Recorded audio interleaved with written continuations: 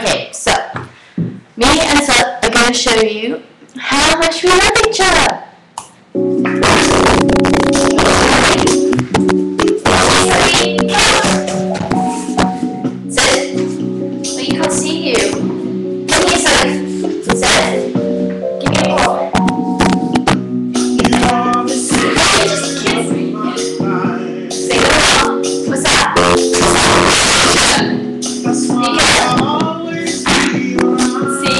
Thank you.